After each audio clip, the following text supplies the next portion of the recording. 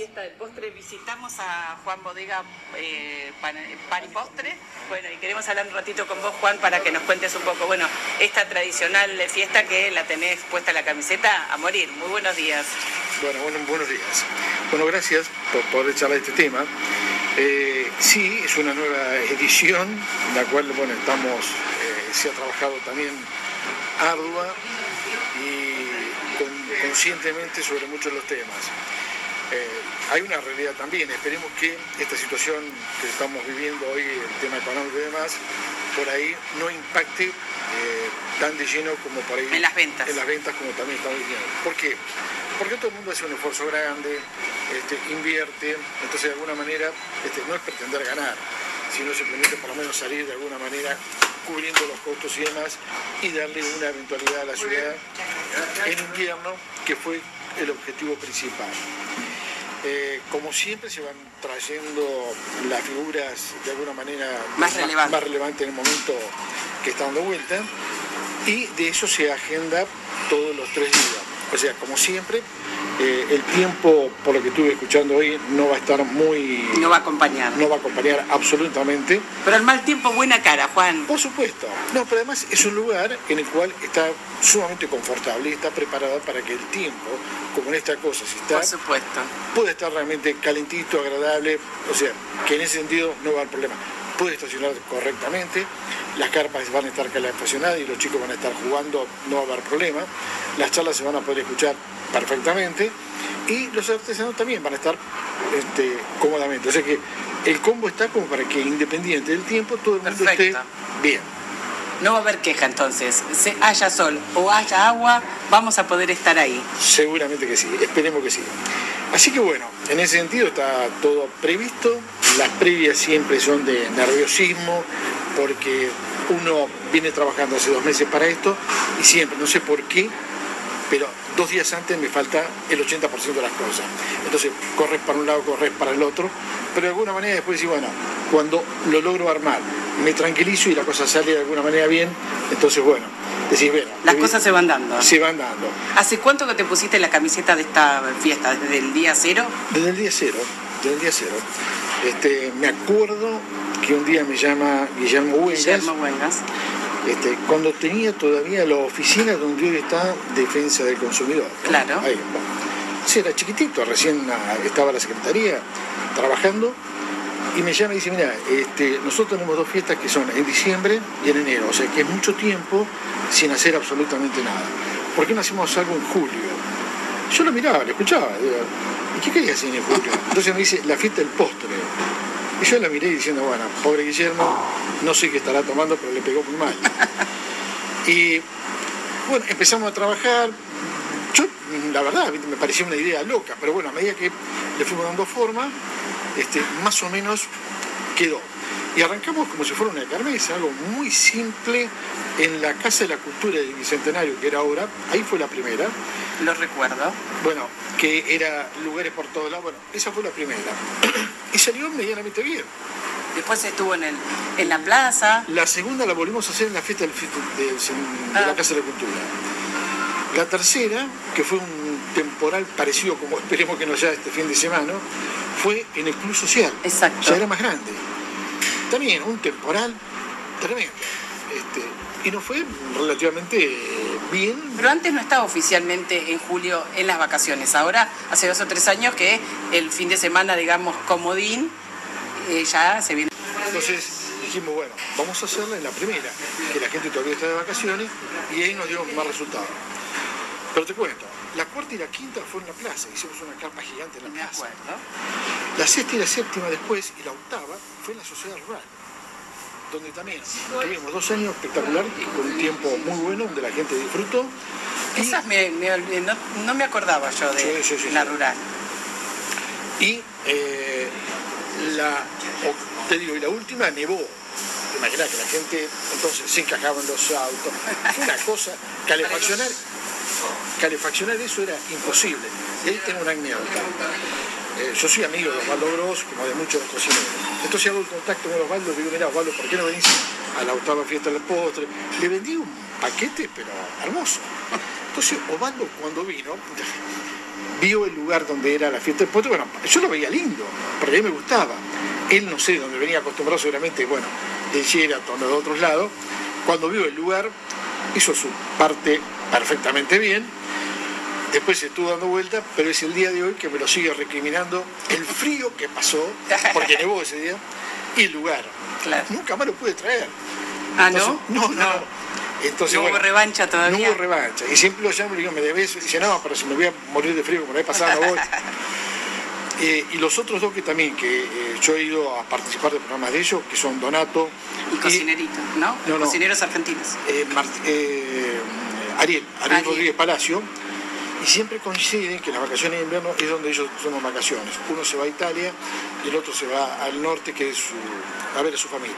Recuerdo una vez que para ese programa hiciste en frente al normal también Exactamente. un vivo, ¿no? Para la tele. Exactamente. Y después me invitó otra vez a su programa, fui y le dije, mira, yo voy dos veces por la condición de que vos una también vengas. Me dijo, sí, que sí, bueno, pero Todavía no. está en veremos. Y bueno, y después el resto, este, cuando también estábamos buscando lugares alternativos, habíamos pensado en el cerro, poner carpa y demás, eh, surgió la idea de Carrefour. Y yo digo, ¿qué es Carrefour? Bueno, pero cuando vi los lugares que teníamos, con las comodidades que teníamos, realmente bueno, en tanto y en cuanto no nos echen de ahí, sigue siendo el lugar dedicado. ¿no? Recuerdo siempre que en el, en el cine, donde funcionaba el cine, bueno, se arma esa tribuna de gente que hace calor, que uno está feliz ahí y que se pasa un momento, bueno, más que agradable. Vos y otros grandes referentes como Natalia y otras personas de acá de nuestra ciudad que están siempre presentes, bueno, y llevando el mando de esta fiesta. Este, bueno, sí, es un poco así, ¿no?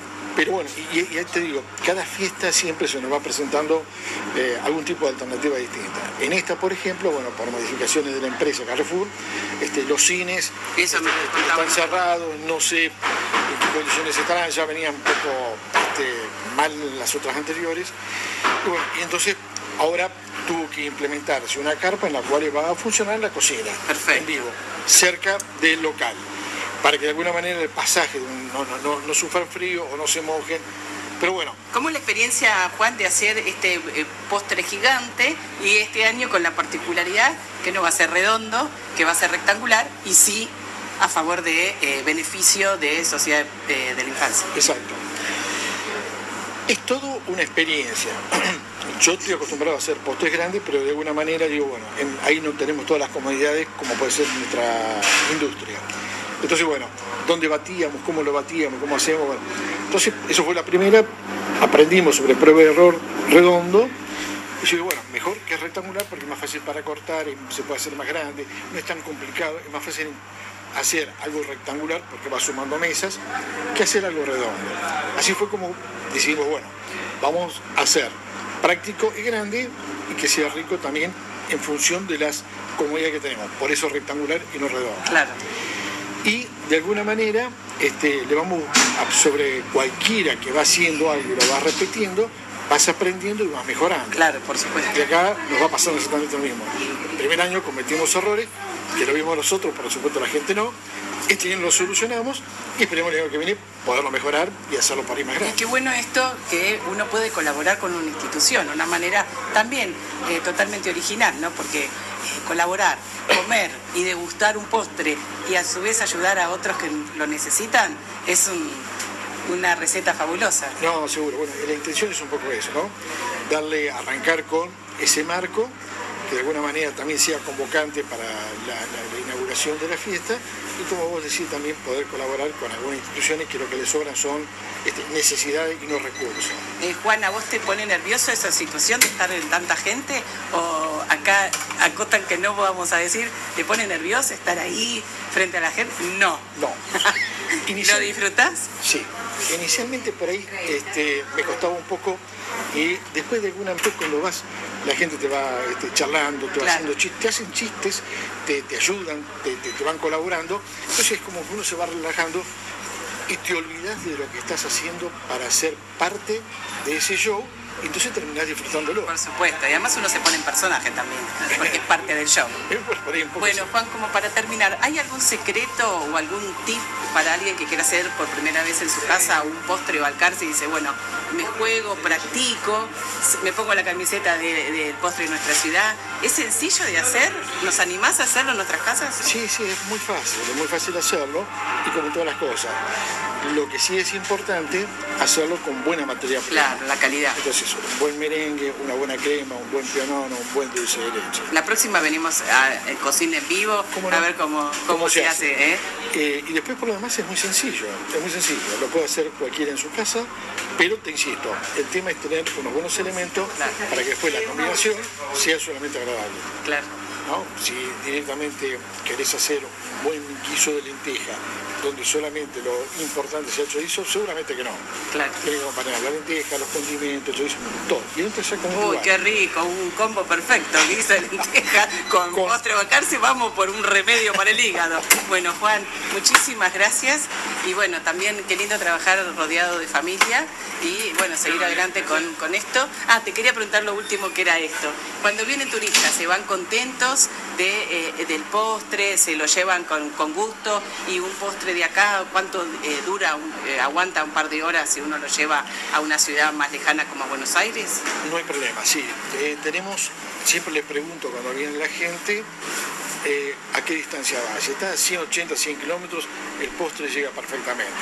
Si tiene que ser más de 200 eh, kilómetros, ya tenemos un postre que tiene este, un toque de frío mayor con el cual llega perfecto.